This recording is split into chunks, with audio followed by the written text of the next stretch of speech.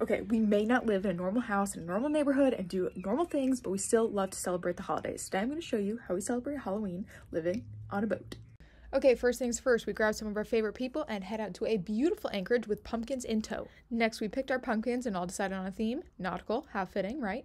In our family, everything is a friendly competition, so we are all trying our best. Some of us are still trying to decide if using power tools is cheating, but I guess we can give it to them for being creative. Look at these beautiful designs. And no Halloween celebration is complete without a local pumpkin beer especially while admiring the full moon. All right, all right, how'd we do? I think we all did pretty good if I do say so myself. We have a pirate dog, a buoy, an orca, jaws, and a beautiful octopus, but the night is not over yet and now it's time for games. Once the game is over, we set up the projector and pick a movie filmed in the area that we're in and try to see if we can spot any of the locations. No costumes or trick-or-treaters here, but we had so much fun celebrating in our floating home and thanks for coming with us.